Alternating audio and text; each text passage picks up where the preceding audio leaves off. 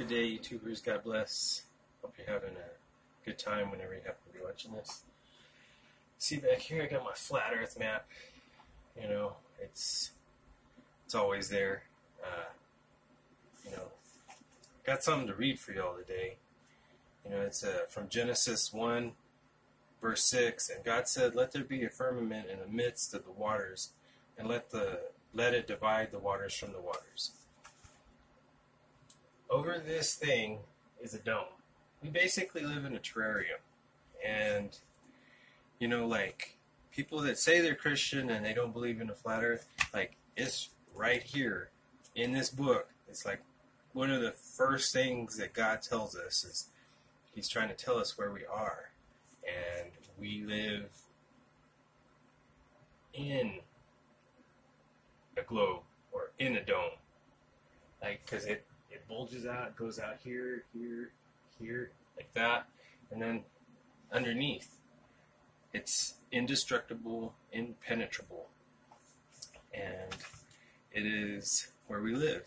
And, you know, people think that this isn't important. It's actually very important because Jesus is the truth, the way and the light, the life, and he's telling us that we live under a dome, live in a terrarium.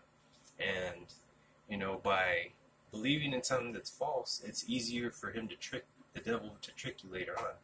And that's what he's done because people don't even know where they live. They're like, oh, we live on a ball. No, we don't because it's not curved.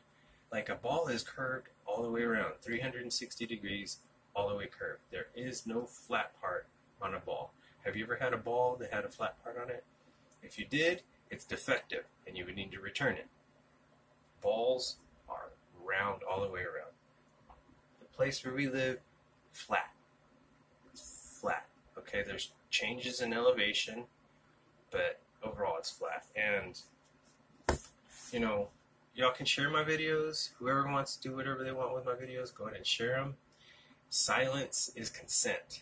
Silence is consent. If you're not on YouTube making videos or some other platform making videos, talking about the Lord, talking about where we live, talking about the deception, then you're consenting to it.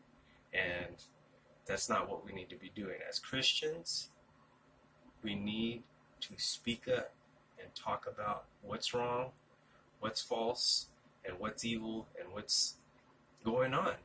And if you're not doing that, then you need to do that. If you don't want to do that, then just share my videos or share somebody's videos. But the truth has to be put out because there's so much stuff going wrong, so much lies. It's so thick, and everyone is being deceived and manipulated, and it just needs to stop. And if you're not doing something about it, then you're consenting to it, and that's even worse than than you can even imagine. Okay, so I encourage you to get on YouTube, start making videos, start making a fuss, start speaking up because when you don't, you're condoning all the evil that's going on in the world. And that's why I do this stuff. All right? You'll have a great day. God bless you. Read your Bible. Learn about this thing here. Try to figure out where you are. All right? Bye bye.